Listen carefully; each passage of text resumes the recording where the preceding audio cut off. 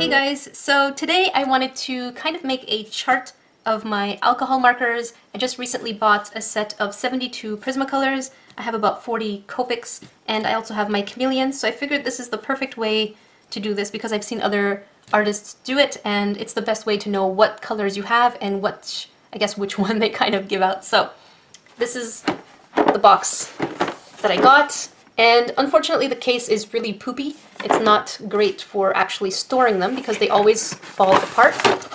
So I'm just going to show you guys. There they are. And if I hold them in any other angle, they're just going to fall and go all over the place. So I'm going to put them next to me on the desk. That way it's going to be a lot easier to map the colors. And I figured I'm going to start with the Prismacolors because I have way more of these. And uh, I'll just do some close-ups. And I guess I'll comment on maybe not each one of them, but I'll let you guys know what I think. Okay, so I took out the first row of colors, and the first impression on these well, I'm not too crazy about the sticker that is around the marker because the Copics it's actually printed on top. But the problem with these ones, if you get them shipped from, let's say, Amazon and it's in the winter, the sticker starts actually coming off a little bit. So I had to push some of the stickers back in because it was, I think, minus 10 only. It was only minus 10. It wasn't even our coldest day. And it was outside for about two hours until I got home and the sticker was already starting to come out so I don't want to think what would have happened if these were out for longer or if it were in an actual colder day.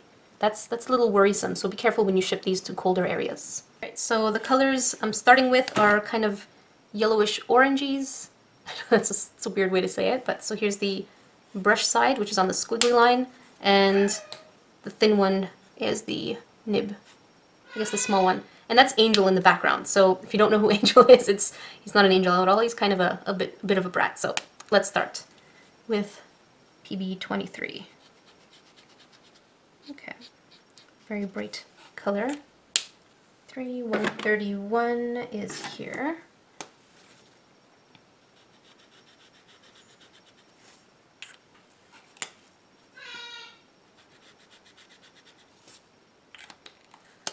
17, 18,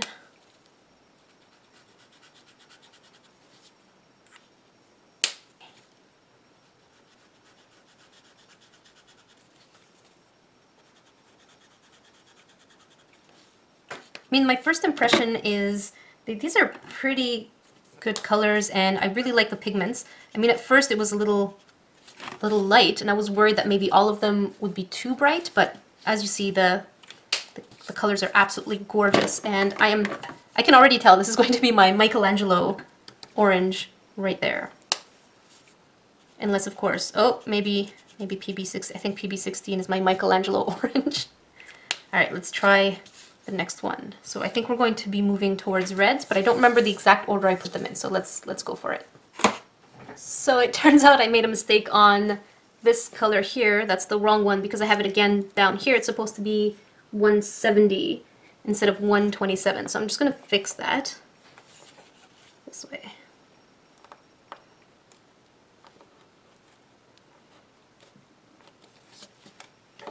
And 170.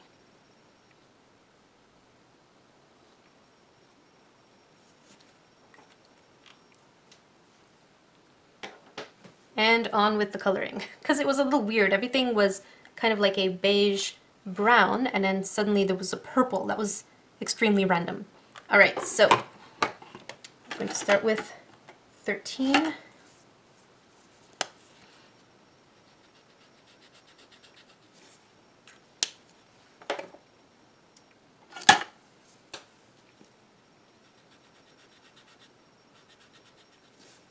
Thought I made another mistake. I was like, why? Why is this happening? But no, we're on the right track, guys. On the right track. The colors are gorgeous. 11. What I don't like about these, I just realized right away, so the color names are on the side, but the there's no name here. It's just the the code. I think the chameleons have the color and the code on top, and I think it's the same thing with the Copics, but we'll double check once once we're there. So this is 11.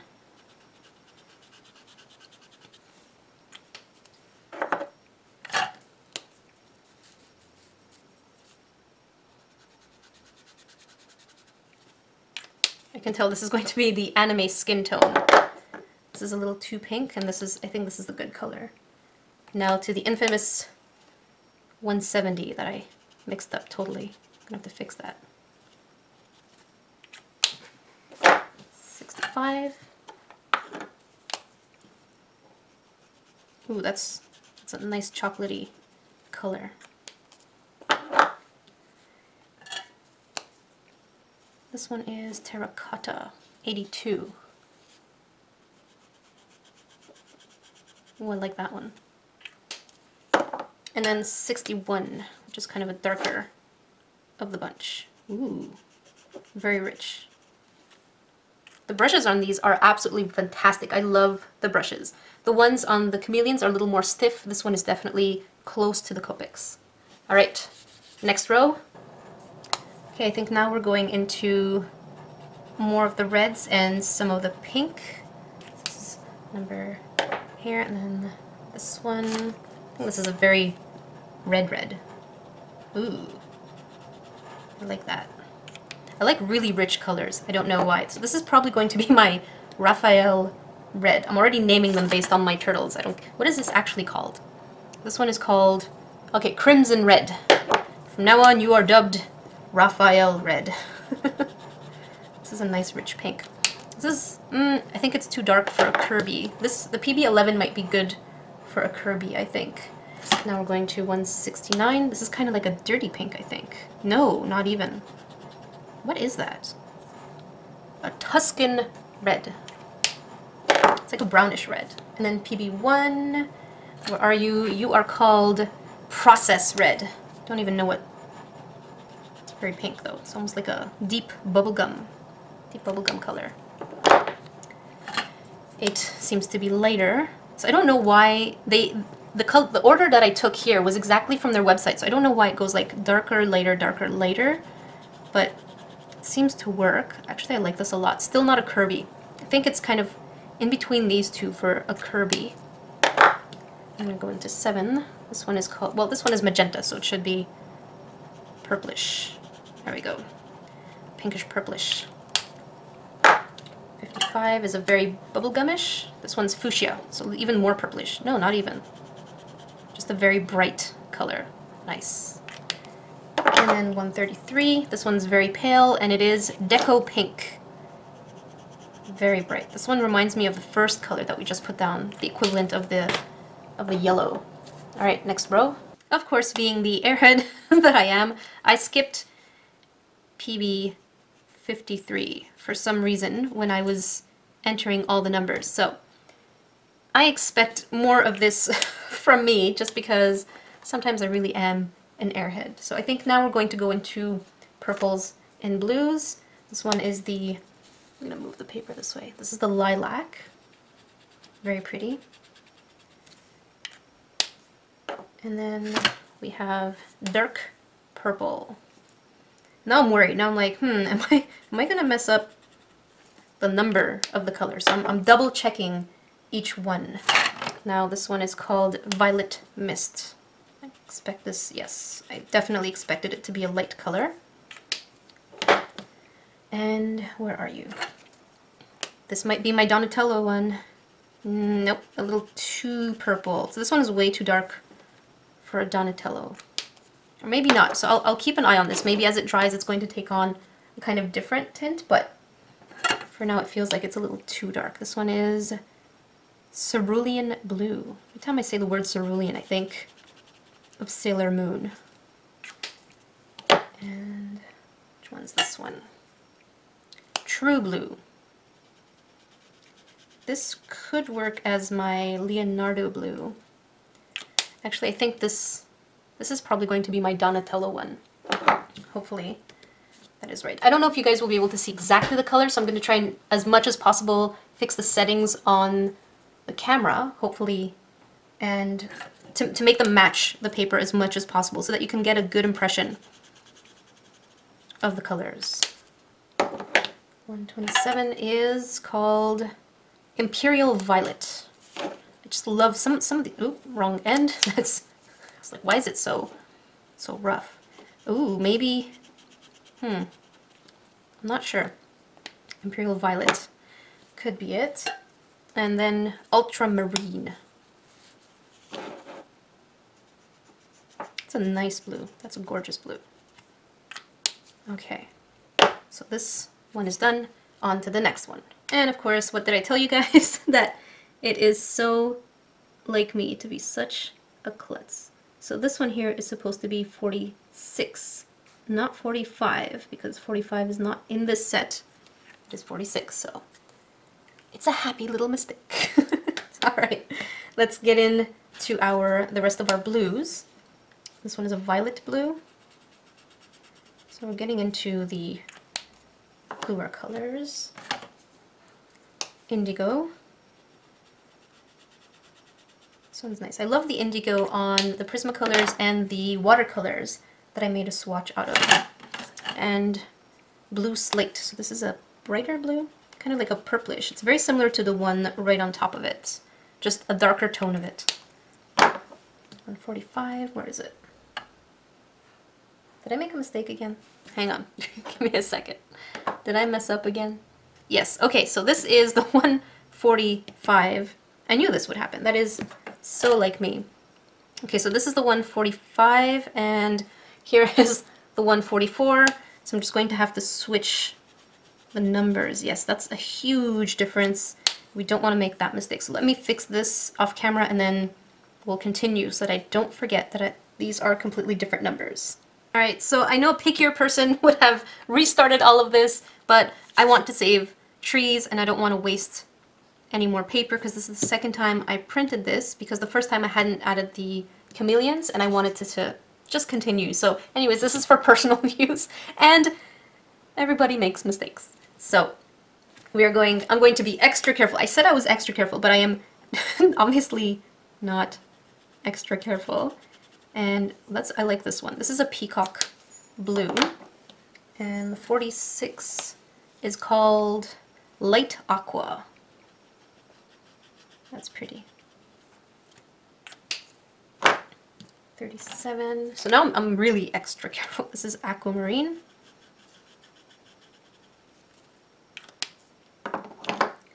And now we're going into our greens. This one is True Green. Definitely not a Ninja Turtle green, so I'm going to have to find the true Ninja Turtle green. 165 is grass green. It's pretty. Very pretty, pretty. So there's quite a bit of green, and the first one is an apple. Well, we started here, but I think most of this row is going to be, this is a nice, I guess a cartoony version of Ninja Turtles. And then we're going into 31, dark green. Well, that is, they weren't kidding. They really meant dark greens. This is really, really dark. This seems like a good Ninja Turtle one, but I'm pretty sure there's, hopefully, there's a better one. If not, I have a Ninja Turtle green in my Copics. This one is called Chartreuse. I've never heard a green called Chartreuse before. Maybe I'm just not exposed to colors, color names very often. And then we have 124. Lime peel.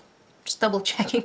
You know when they say if you burn yourself once, you even blow on ice cream. I don't know if that's an English uh, saying, but it's definitely a saying in Arabic. So this is 25, spring green. That's a pretty green too. And now it's very olivey. What's this one? Oh, dark olive green. How cool is that? So I wasn't too far off the name. Very olivey. Very delicious. This is a very bright one. Jade green. That makes sense. It's very bluish though. Very bluish.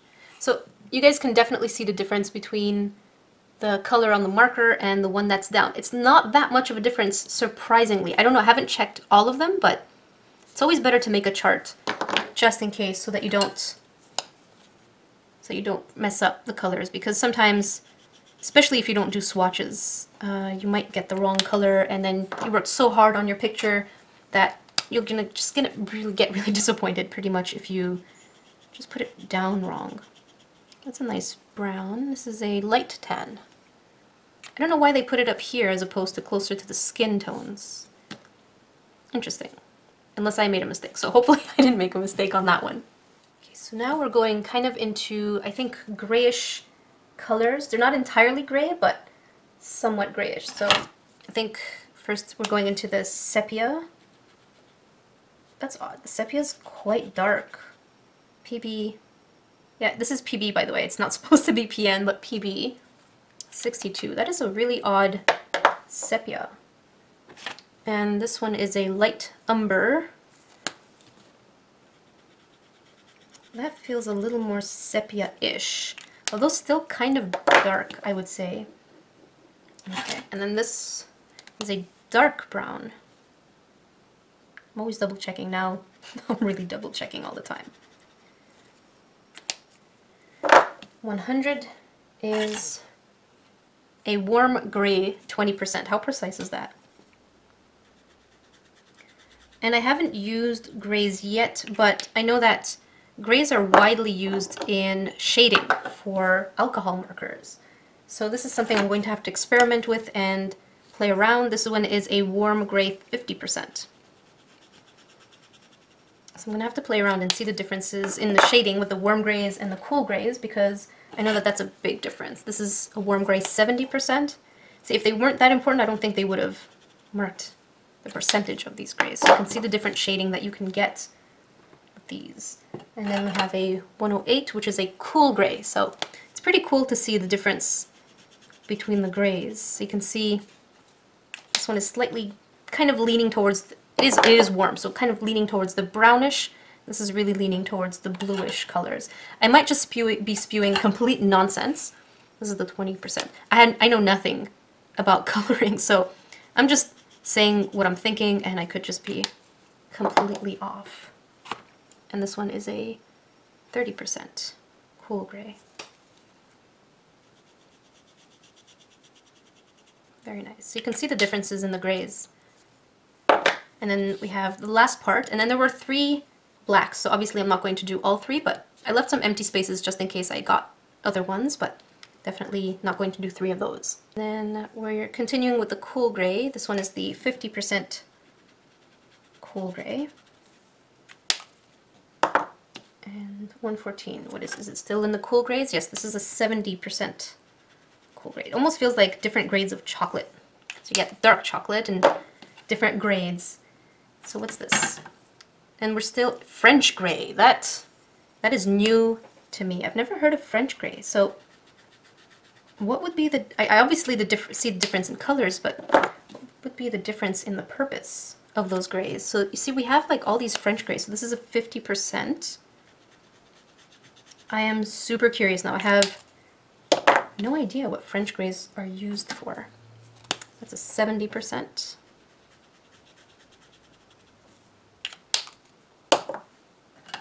And in the set of 72, you get three blacks. So in all technicality, you're getting about 69 colors and then three, three black markers. I hope I didn't mess up my math. And of course the black is what it is. So I'm really happy with these colors. They're super saturated. These are exactly the kinds of colors that I love. I really love pop colors. So I can see that my Ninja Turtle colors would kind of vary between these here. My Michelangelo would probably be the 16. My Raphael would probably have to be the 4. Donatello 50. Leo would vary between these two. Okay, so at least I have some of my Ninja Turtle colors also. So I'm really happy with these colors and I can't wait to use them. So next, let's work on the Copics. We're starting off with some greens and I think I think these are my skin tone colors, but again, I don't remember the exact order that I went with. But I'm going to be extra careful this time and hopefully make sure that I took the right colors for the right numbers. So I'm going to put these here. Uh, this one is Spanish Olive. So as I mentioned, the problem with the uh, Prismacolors is that they only have the code in front, whereas this one has the code and the color name, which makes it so much easier. See, I almost took the wrong color. There we go. Okay, I want lettuce green, YG09. 97 is the Spanish green. G29 is my pine green. Oh, that's a really dark green. And now we're going into, I think this is a really light skin tone. So R01 is called Pinkish Vanilla. Very light color. And this one is Light Tea Rose, R12.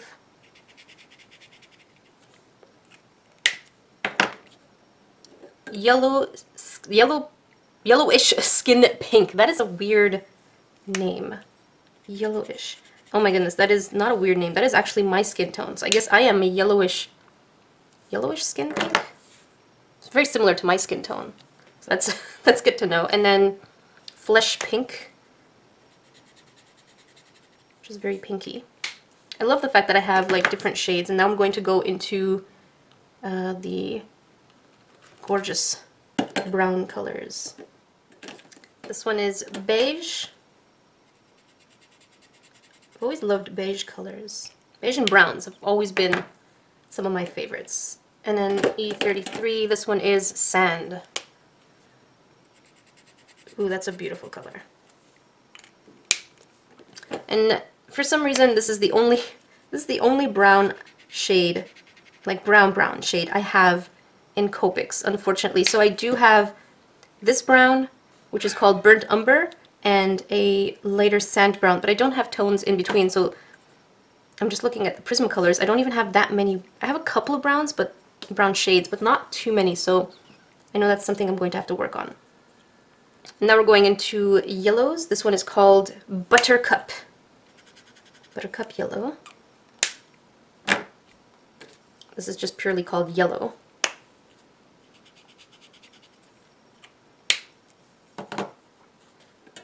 Lightning yellow. Ooh, is that like a Pikachu yellow? Is this my Pikachu yellow? No, not quite, because Pikachu's yellow is somewhat, somewhat leaning towards orangey-ish. FY1, I called it FYI, but fluorescent yellow-orange.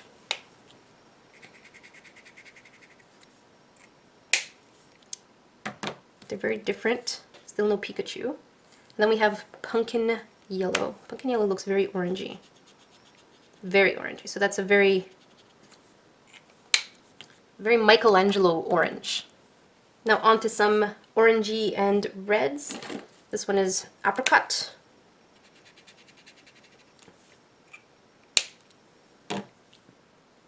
Cadmium orange. Why do I have colors on my Copics? That's odd.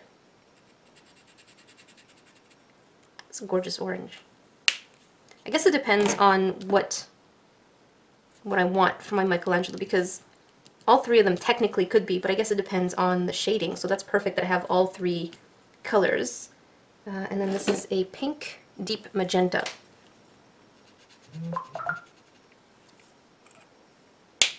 And of course I didn't put my phone on silenced. and then this one is called Salmon Red.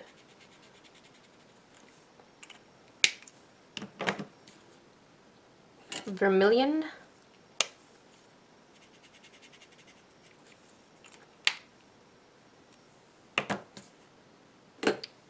Strong red. See, either of these also depends, nope, either, well, this might work for my for my Raphael. This one is Cardinal.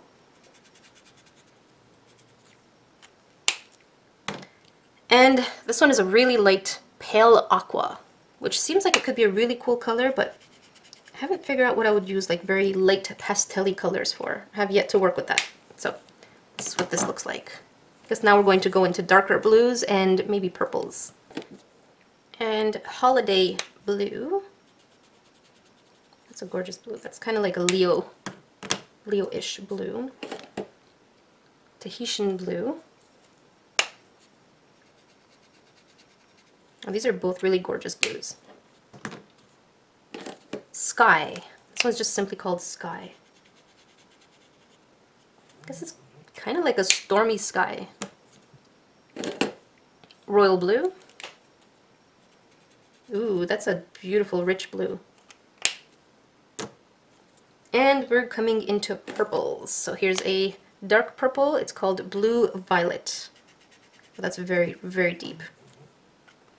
And this is a lighter one, so like a dusty, misty one. What's this one called? Prune. And then we have a darker one for fluor fluorescent, fluorescent dull violet. Why would it be dull and fluorescent? How could that work at the same time? Doesn't look very dull. That's pretty. I like this. And lavender. That's pretty. And then another last purple one. This one is Wisteria. It reminds me of Sculpey's purple color, which is also called Wisteria, but it's definitely a deeper one than this. So this is a very pale color. Kind of like the blue, but this is a very dusty one too.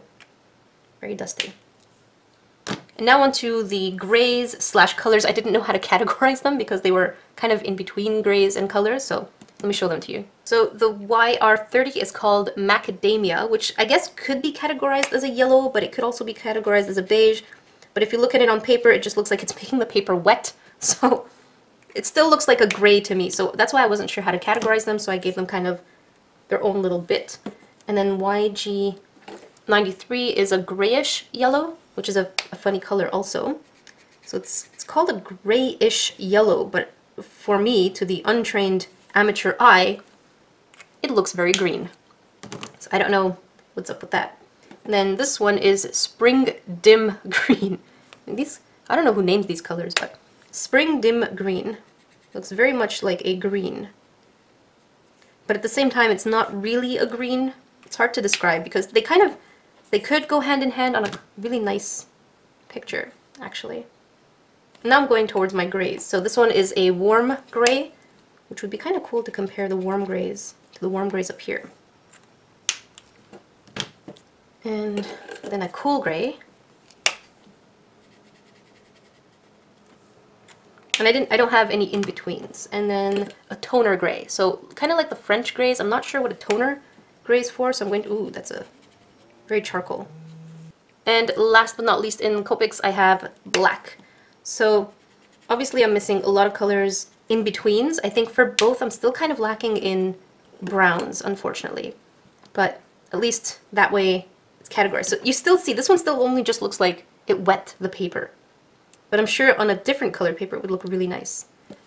On to the chameleons. Okay, so for the chameleons I'm not actually going to do the, the different layers. I'm just going to go straight ahead and color the actual tone and then I'll figure out the the gradient. That's the word I was looking for, the gradient. I'm not going to do that now. So you can see the difference in the brush. This is technically the brush for the chameleon, so they have the brush side, which is kind of nibby, but then they also have the nib.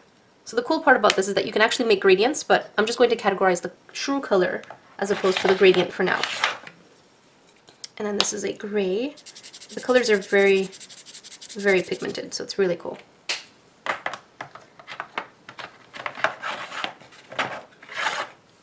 Purple grape.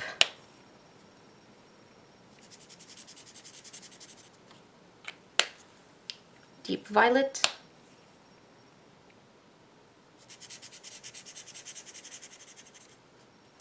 Sky blue. This one is royal blue. Blue violet.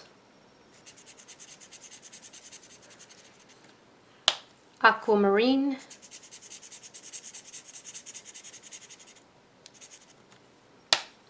olive green,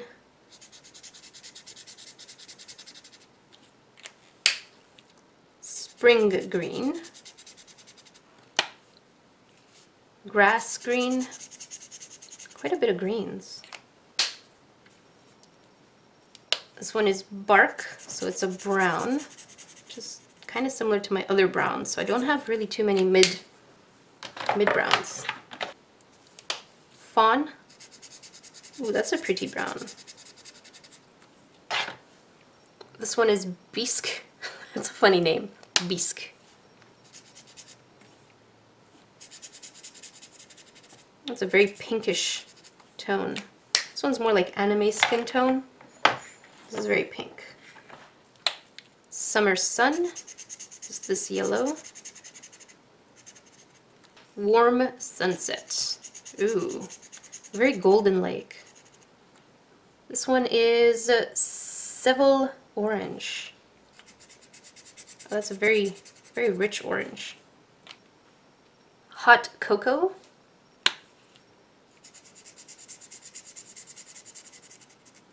Bubblegum.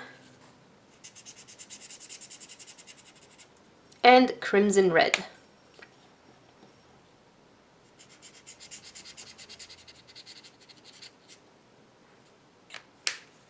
So these are the colors that you get in the basic chameleon set, but of course they can be uh, made into gradients. So you have to put them in the colorless blender chamber and they become a gradient. So I guess eventually if I do make any drawing videos, I'll, I'll show you guys how they work. So the gradient is really cool on that. So here are the colors for Prismacolor and as you can see the pigments are really really good. It's super saturated I really like the colors on these. And the Copics, which are super popular and super famous. Now, on the, you have to stay keep this in consideration that this is a regular sheet of paper, so it's not made for Copics. It's a little grainy compared to the Prismacolors, but again, I'm not using the right paper for this because this is just for my sample chart. And the Chameleons, which are gorgeous too, but a little grainy, kind of like the Copics in terms of the ink on regular paper. So I hope you guys enjoyed the process and the colors are absolutely gorgeous, super saturated, and I can't wait to get coloring. I will see you guys next time. So I drew this, um, I guess you can call him Wizard Raphael, because I got a really cool book for my birthday and Christmas, and I drew this kind of version of Raphael, and I thought it was really cool. I spent so much time sketching him and then inking him that I got so scared coloring him. So I've been procrastinating coloring him. But then I saw Baylee Jae suggest this.